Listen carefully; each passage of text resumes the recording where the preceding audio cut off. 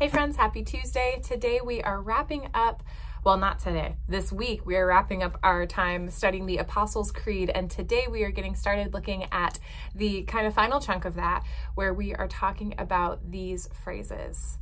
I believe in the forgiveness of sins, the resurrection of the body, and the life everlasting. And our scripture for today, I'm going to read it and then we're going to back up and I'm going to we're going to kind of unpack this together. So this was the this is the scripture that we have chosen for today.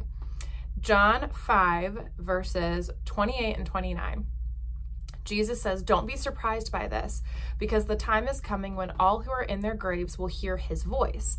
Those who did good things will come out into the resurrection of life, and those who did wicked things into the resurrection of judgment. Now, when we first look at those words, it's very obviously judgment heavy. It's very, um, let's look at what deeds you did, what deeds you did, and let's decide your fate. And as someone who grew up in a context and an environment that was very uh, scary when it came to Judgment Day and things like that, I can feel a lot of fear when I first read passages like that.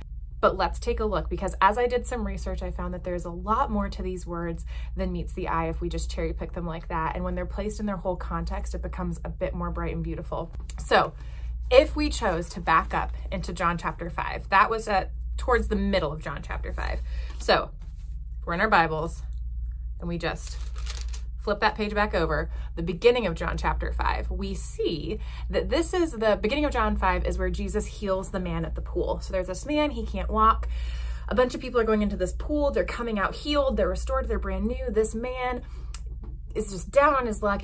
He says to Jesus, every time I try to go in that pool and get healed, somebody cuts me in line and I just can't get healed. So Jesus heals this guy, right? Because Jesus is who he is. Backstory, this was on the Sabbath. At the time, the Jewish leaders were trying to do what was right. They were trying to observe the Sabbath. They were doing what they thought was fulfilling the will of God by saying, no, you're not allowed to work on this day. And so they're upset with Jesus for healing on the Sabbath which enters into an entire conversation about Jesus's authority. So Jesus, before this, he's going through and talking about his relationship to the Father and how if the Father is working, then Jesus is working. And the the Pharisees are getting even more frustrated because not only did Jesus work on the Sabbath, but now he's calling God his own Father. And that, according to verse 18, makes Jesus equal with God was their whole mentality. They were very offended by this, but Jesus kept going. Jesus was unpacking this for them. And that's where we get to verse 21, where Jesus says, As the Father raises the dead and gives life, so too does the Son give life to whomever he wishes. Verse 22 The Father doesn't judge anyone, but he has given all judgment to the Son, so that everyone will honor the Son just as they honor the Father. Whoever doesn't honor the Son doesn't honor the Father who sent him. Now, if we do some research into this, we see that it was commonplace for Jews in this time to have a theology, we can say, of resurrection. They believed, it was commonplace for Jews to believe in eventual resurrection. They believed that that would happen from God, from Yahweh. What we see here is this question, it's over Jesus's authority, stemming from the fact that Jesus healed on the Sabbath, so he broke the law. Jesus is saying that God is his father, making himself equal with God. And now Jesus is saying, yeah, and also I'm I am in charge of that eventual eternal promise. To me, when I read this, I see this as yes, this is talking about one day when we all meet Jesus. But at the time, this was about Jesus proving himself to these people. He was trying to get through to them to say, I am God. God is in me. The Father and I are one. Father, Son, Holy Spirit. Jesus is trying to show them this fully God, fully man divinity in him. He's trying to show them who he is and that he is the image of the invisible God, all of the things that we believe about Jesus. He's trying to show them his authority and who he is, that he's more than just a man, that he is God in flesh. He's trying to get them to see that all of these things that God has given you, that's that's me too. The law, the healing, the Father and Son, the eventual judgment at the end this is all Jesus too. So let's continue reading before a little bit before our passage that we have this morning.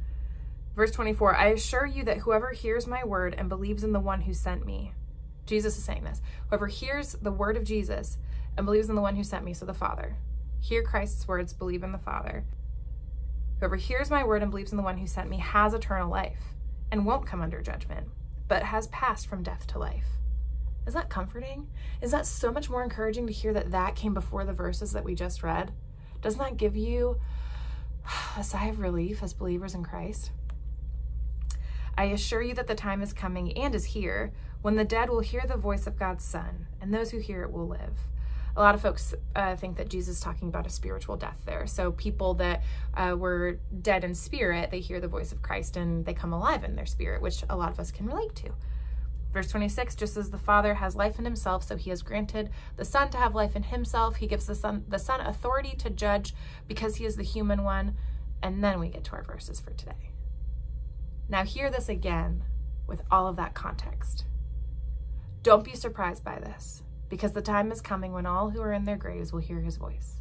Those who did good things will come into the resurrection of life, and those who did wicked things into the resurrection of judgment. He ends with saying, I can't do anything by myself. Whatever I hear, I judge, and my judgment is just. I don't seek my own will, but the will of the one who sent me. So, friends, today let's remember that we have passed from death to life, that we have that eternal life because Jesus has granted that to us. And that when we're confused or wondering, you know, what is that eventual end times going to look like or that judgment? Let's have that encouragement of exactly what Jesus was trying to show the Sadducees and the Jews at that time. Jesus is in charge of that.